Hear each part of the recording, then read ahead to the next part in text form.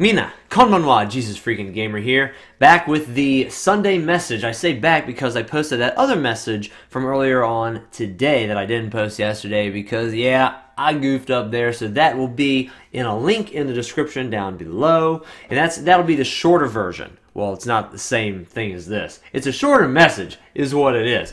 Now, on to a lot of y'all saw the thumbnail and y'all were like, this dude's being a friggin' weeaboo again. What the heck? Well, I just finished watching today one of my favorite series of all time. It's called Angel Beats. It's another th- um, it's another production of Key, and oh my gosh, is it good!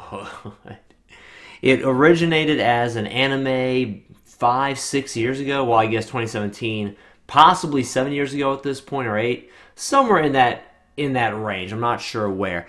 And recently, it also became a visual novel. It started out as an anime, a very short 13 episode plus one OVA anime, and it eventually became a visual novel. That was released one or two years ago. I would love to read it, but it's only in Japanese, and the English translators haven't gotten around to finishing the translation yet. So I look forward to that with eager anticipation. I will read, I think, all six chapters. I think they're re- releasing it in a series and it's going to be a six part series each of them their own visual novel. I've never read a visual novel in six parts. I have no idea how that works. And i'm getting to the message. I, am getting to the jesus part. Yes this reminded me of jesus. Yes this reminded me of the word of god. I am getting to that i promise.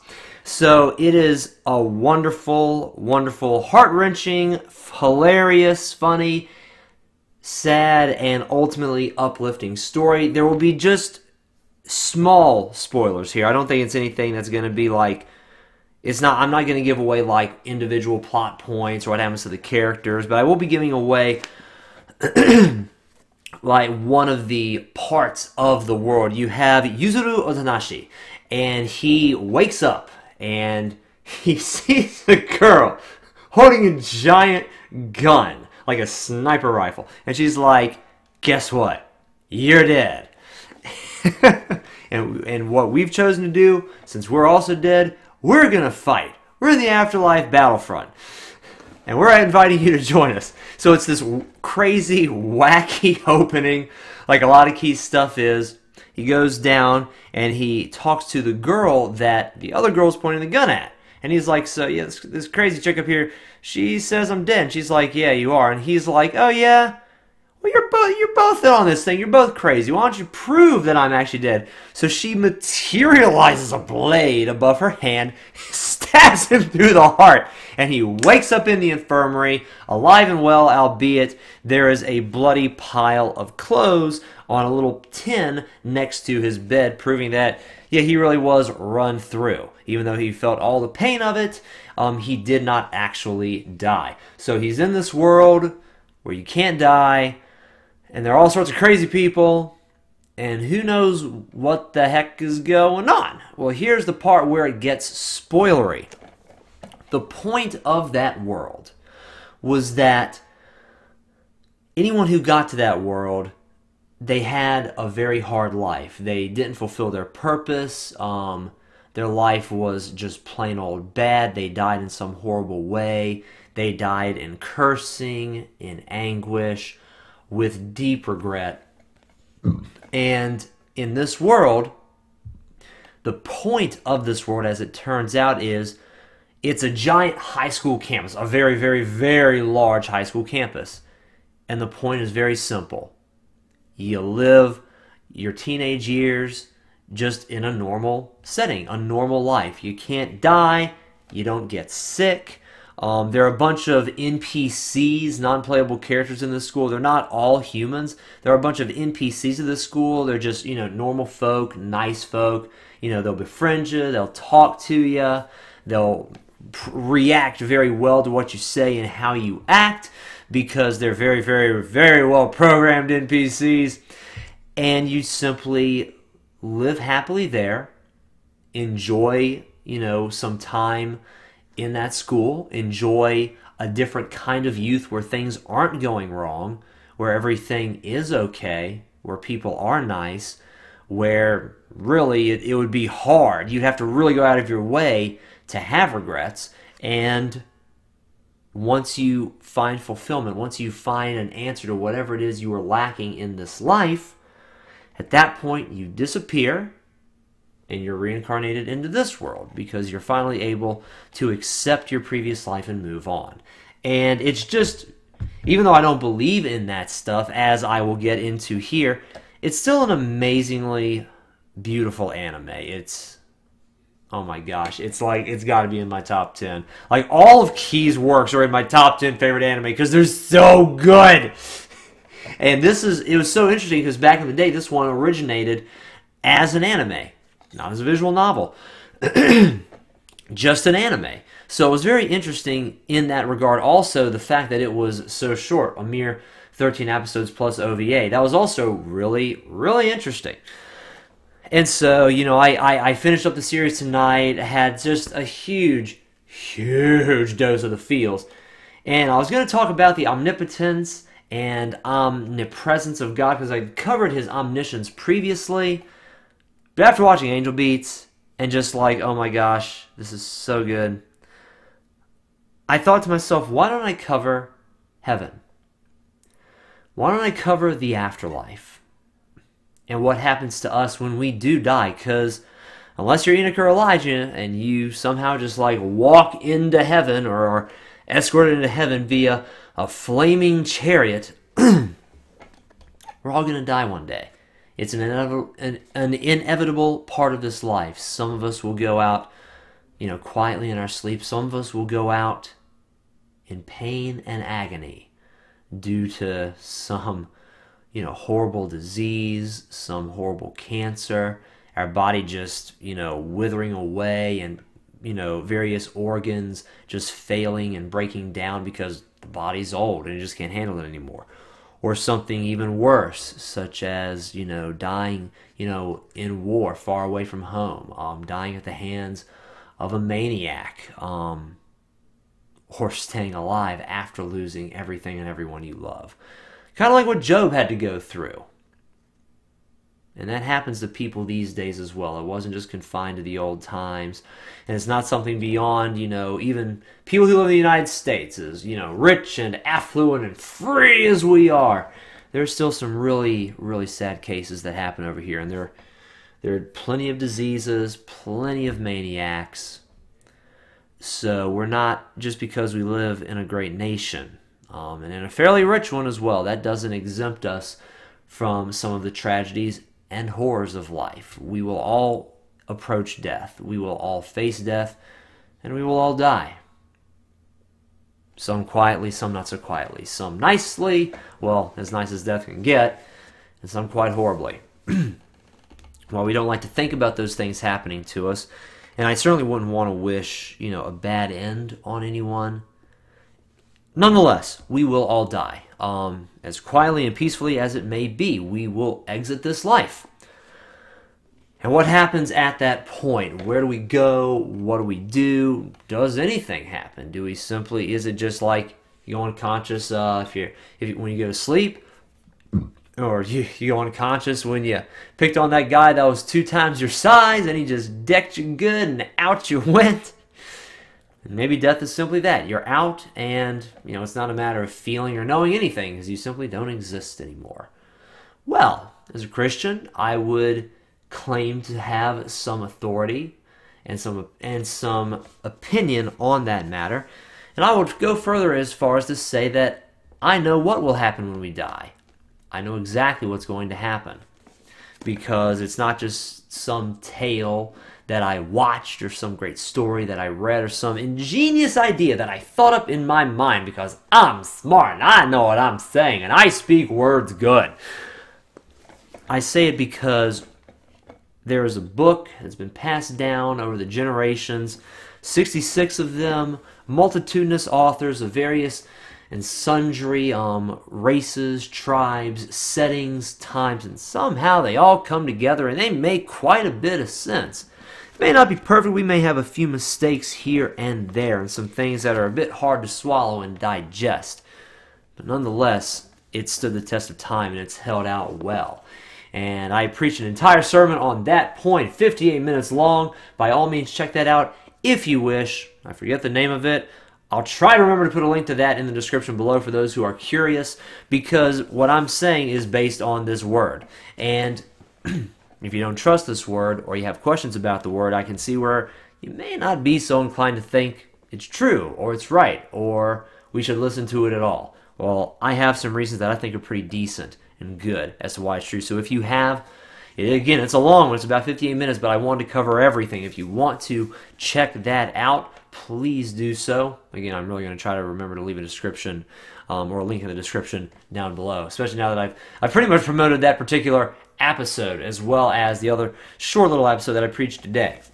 But because of this word, which God has passed down to man, we know how this life is going to go and we also know how the next life is going to go. No, not each of us specifically in great, um, minute detail, but we get the big picture. We get overall what's going to happen. So, first and foremost, what's going to happen is when we die, that's not the end of us. We are not, our existence doesn't end, get a little bit closer here, in death. Our existence continues. Um, we keep on going. To give a few examples, I'm going to start off in the Old Testament because this idea it wasn't just Jesus and his apostles. there was new revelation at the time of Jesus and the apostles, and a little bit more insight was given into these eternal states. But the fact that they exist, the fact that something's going to happen after this life, that was known even back in Old Testament times. Every now and then I get a little bit cottonmouthed. Of course, when you're speaking for a very long time, like a 30 minute message, it tends to happen. I can see why the preachers have a lot of water. I've just kind of sucked it up in the previous messages and whatnot. I've been like, ah, who cares? I can make it. And I did make it. But the water, it eases my pain. So it's a lot easier to talk for extended periods of time with that. The shorter messages, I don't have to worry about it. With this, these longer messages, I have to think about it a little bit. We're going to start off with Job chapter 19 verses 25 through 27. Job 19, 25 through 27. For I know that my Redeemer lives, and he shall stand at last on the earth. And after my skin is destroyed, this I know, that in my flesh I shall see God, whom I shall see for myself, and my eyes shall behold, and not another. How my heart yearns within me. So several things are stated. One, that God is our Redeemer. Two, that He lives. Three, that He will stand on this world, on this earth at some point. Four, that our skin will be destroyed. News flashed absolutely no one here. Anyone and everyone can agree on that because it happens every day. Five, that after our skin is destroyed, somehow in our flesh we will see God. And six, it's not going to be some illusion, some mirage. It's not going to be through a tele, you know, some television broadcast through some internet, you know, blog. With our eyes, we will see. Not someone else, not another. We will behold him. Oh gosh, and I have to second Job. How my heart yearns within me. When I think about seeing Jesus, when I think about seeing my God, it almost brings me to tears because I want to see him so bad, and I am so looking forward to meeting the one who loved me so much that he died for me after he lovingly created me, and I messed it all up because I was born in sin due to my parents and their parents all the way back to Adam and Eve, but he loved me anyway. And he died for me so that all that sin could be washed away. I am a big Christian fanboy. I love Jesus Christ. And I want to see him. I think that is why Angel Beats resonates so hard in my heart because it's even though there are so many things obviously wrong, it's a work of fiction and it's nowhere near nowhere near the Christian idea. It still plays upon the idea of things in this messed up world being made right. And when we see God, things are going to be set right. The record's going to be set straight. And I look forward to that. I really do. I'm, I'm excited about that time. I don't, I don't plan on committing suicide anytime soon.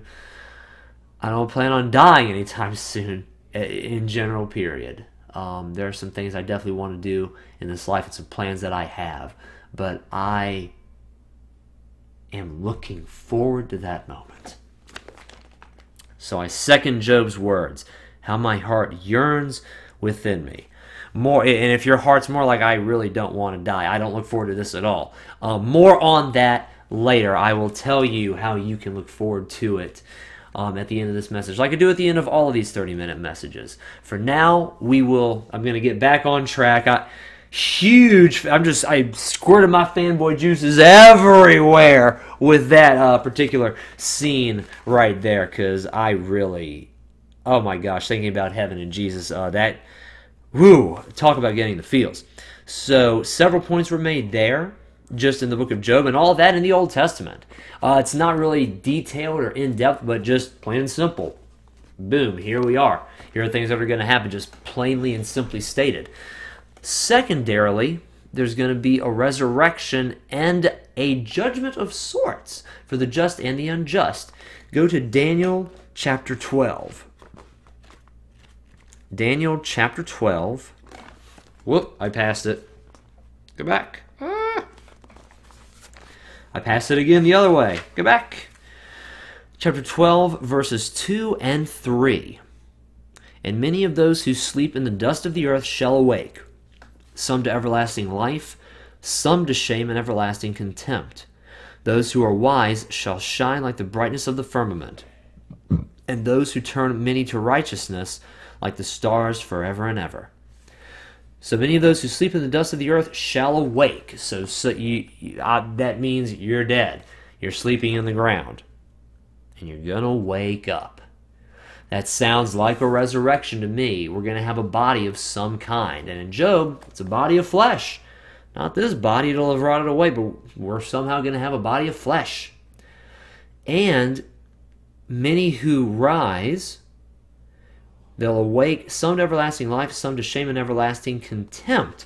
So we have at least um, a black and white system, um, a binary system, ones and zeros, uh, two parts life, everlasting shame, and contempt. And they're both everlasting, they both uh, are eternal states. Uh, one sounds really good, one sounds kind of bad.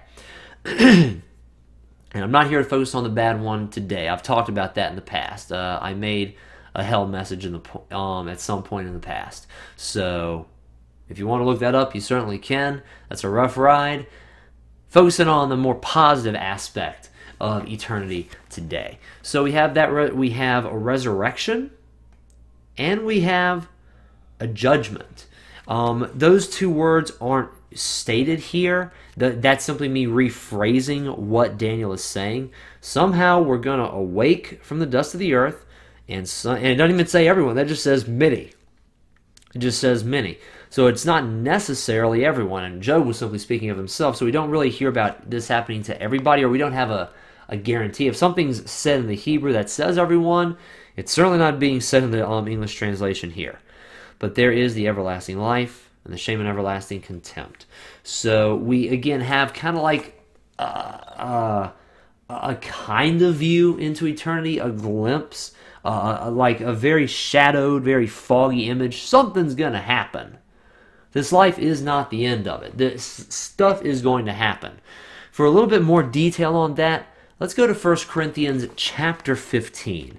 This is going to talk about the resurrection in a lot more detail. Paul uses Lots and lots of analogies, and because Jesus has come and risen again, he also includes how the resurrection of Christ is a shadow and a type of what's going to happen to us. So we're going to get a bit more detail. Now, since I have 30 minutes, I'm going to be reading a lot here. It's 1 Corinthians chapter 15. We're going to read verses 39 through 57. Are you ready? I'm going to take a deep breath and go. All flesh is not the same flesh, but there is one kind of flesh of men, another flesh of animals, another of fish, and another of birds. There are also celestial bodies and terrestrial bodies, but the glory of the celestial is one, and the glory of the terrestrial is another. There is one glory of the sun, another glory of the moon, and another glory of the stars. For one star differs from another star in glory. So, kind of like the light they're emanating. So also is the resurrection of the dead. The body is sown in corruption, it is raised in incorruption. It is sown in dishonor, it is raised in honor. It is sown in weakness, it is raised in power. It is sown a natural body, it is raised a spiritual body. There is a natural body and there is a spiritual body. I feel like that last part there has uh, some connotations even down here about there being a natural body and a spiritual body. And so it is written the first man, Adam, became a living being. The last Adam became a life giving spirit. Referring to the first Adam, actually Adam, and then the last Adam being Jesus Christ. And everything starts out in corruption, dishonor, weakness. And I, I don't think I need to explain that, you know, this body, the bodies that we currently have, there's definitely corruption and dishonor and weakness. I don't think any one of us, excuse me, can claim anything other than those things about this body. We all have our bad and off days. Going back down to verse 46, however, the spiritual is not first, but the natural, and afterward the spiritual. The first man was of the earth, made of dust. The second man is the Lord from heaven. As was the man of dust, so also are those who are made of dust. And as is the heavenly man, so also are those who are heavenly. And as we have borne the image of the man of dust, we shall also bear the image of the heavenly man. With Jesus having come down and risen again, there's a lot more understanding of what this flesh resurrection that Joe was talking about and Daniel kind of hinted at is referring to. Verse 50 Now this I say, brethren, that flesh and blood cannot inherit the kingdom of God, nor does corruption inherit incorruption. Behold, I tell you a mystery. We shall not all sleep, but we shall all be changed. sorry about that. Getting a little late here, but I'm going to trumpet through trumpet through to the end. In verse 52, in a moment, in the twinkling of an eye, at the last trumpet. That's where that was coming from. For the trumpet will sound, and the dead will be raised incorruptible, and we shall be changed. For this corruptible must put on incorruption, and this mortal must put on immortality. So when this corruptible has put on incorruption, and this mortal has put on immortality, then shall be brought to pass the saying that is written Death is swallowed up in victory. O death, where is your sting? O Hades, where is your victory? The sting of death is sin, and the strength of sin is the law. But thanks be to God who gives us the victory through our Lord Jesus Christ. For me, that is such a huge promise to know that I will stand in my flesh. Just as Jesus rose again in a new incorruptible body, so will I. It's it's laid out fairly clearly here. There's not much more elaboration that I can put on that. That's that's how um that's how it's going to be. I will just point out verse 50 though. It says that flesh and blood cannot inherit the kingdom of God, nor does corruption inherit incorruption. This particular resurrection that um, Paul is speaking of here, this glorious body, this strong immortal body, this isn't necessarily applying to everyone. All of this is in reference to those who inherit the kingdom of God. This flesh and blood right here, this weak, corruptible um, thing, cannot inherit the kingdom of God. This corruption must place on incorruption. But that's because those who know Jesus are inheriting the kingdom of God. That does not necessarily apply to those who are not inheriting the kingdom of God. So there is that kavit there for 1 Corinthians chapter 15. But that does explain the re- and Job was speaking of the resurrection, how in his flesh he'll see God. Obviously, he was a believer in God, so that kind of it, it, it gives us a little bit of a hint into how this resurrection will play out. Although apparently there's still going to be some who inherit eternal contempt and shame. So something of sorts is going to happen to at least some who die in a not so glorious state. Something's going to happen. And how is it that necessarily we're going to it's going to be determined, you know, who gets the good stuff and who gets the bad stuff? That goes into judgment. And at this point, I'm going to go ahead and make this a two, possibly three part series. The whole omniscience, omnipotent thing, I'll just. I could I it's so easy for me now that I am preaching from the word of God. It's so easy for me to see how someone could do this their entire life. There's with the different topics and the different books and the different histories, chapters, verses, you know, stories, prophecies, psalms, proverbs, exhortations. There's no way I could ever exhaust that book in my entire physical life. I will definitely be able to preach from that until the day I die. Without without mistake. So, we have all of this stuff so far. And the resurrection sounds great, it sounds glorious, but it seems somewhat limited to believers and and Joe was yearning in his heart to see God. Some of you out there, you're thinking death doesn't the thought and prospect of that don't fill me with joy. I'm not sure what death is going to be like. I'm not sure waits for me on the other what waits for me on the other side. And if I do see God, if he is real, is he going to be happy with me? Is he going to be happy to see me? I'm not even sure if I want to see him. persevere to the end. We're gonna make it. Doggone it. You know, I'm not even sure if I want him to exist. You know, even if there, you know, considering the life I've lived, maybe, maybe, you know, just being annihilated or the state of just not existing after death. That that might be preferable for me because God may not have the nicest things to say if He sees me. And some of you are just like, I would love to experience this resurrection. You know, I, I want in on that. That sounds great. How can I get a hold of that? The good news for both sides, for those who want that resurrection, and for those who aren't very sure about if you're going to be on the judgment of the just or the judgment of the of the shamed and the condemned. Jesus Christ, God, came in the flesh, born of the Virgin Mary, lived a perfect life, died on the cross, shedding his blood for all of our sins and rising from the dead. It says in one of the Timothys that God does he wants everyone to be saved. He doesn't want anyone to be lost or to die in their sin, but he wants everyone to be saved. You can Google that. I didn't prepare that in advance. That just what that is just what came to mind. Google is your friend. Feel free and I encourage you to look that up.